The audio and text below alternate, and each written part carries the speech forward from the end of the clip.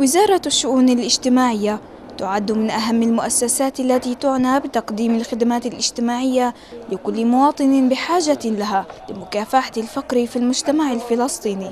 غير أن هناك من المستفيدين رأى بأن الخدمات لا تفي بالحد الأدنى من متطلباتهم.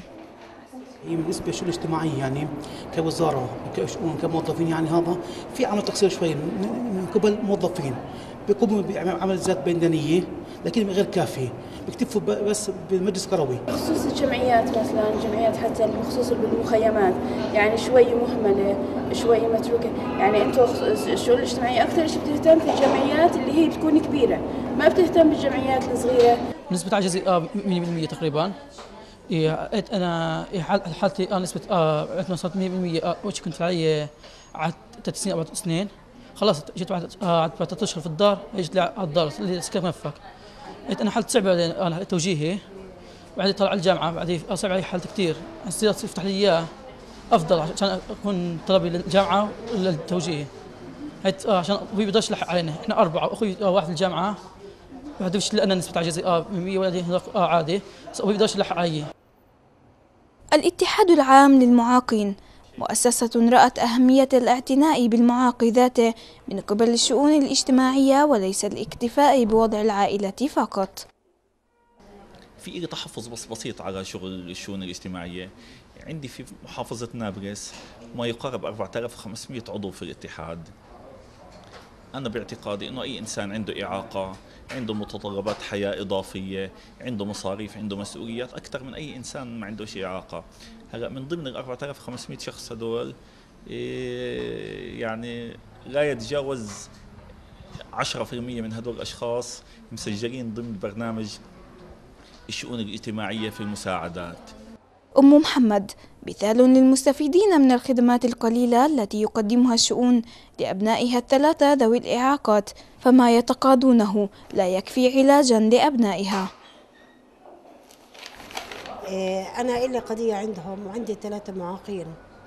وعندي البنتين والولد معاقين والولد ما عنديش غيره. وما عنديش معين غير رب العالمين. إيه، زوجي عمره 67 سنة وعامل.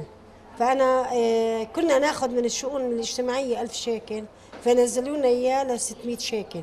طبعا ال 600 شيكل مش راح يكفوا لثلاث معاقين مع رب أسرة عامل. فصرنا بناخذ كل ثلاث شهور والرابع بيعطونا إياه. لا يختلف الحال عند عائلة الكوني التي تفاجأت بفصلها من خدمات الشؤون لأبنائها الأربعة ذوي الإعاقات البصرية. قضيتي مع الشؤون آه، أنا كنت حالة اجتماعية في الشؤون الاجتماعية. فوجئت بأول السنة إنهم آه، فصلوني من الشؤون. آه، ما كنتش أعرف إيش السبب يعني الفصل. فلما راجعت يعني وسألت هم بيقولوا لي قال عشان أنا اشتريت شقة. أنا كان عندي ولد سجين. وكنت أحوش له يعني قرشين. بتعرف السجين لما بده يخرج بده يلاقي له قرش. أنا رحت على الشؤون يعني عشان اقدم رفضوني يعني ما رحتش ما رحتش الخدمات الاجتماعية حق معترف به للمواطن الذي في بعض الحالات لم يجد رغم تظلمه أي مساعدة تذكر. ما في أي مساعدة. في الله غايات وأهداف تضعه وزارة الشؤون الاجتماعية لحماية حقوق المواطن بما يضمن له حياة كريمة.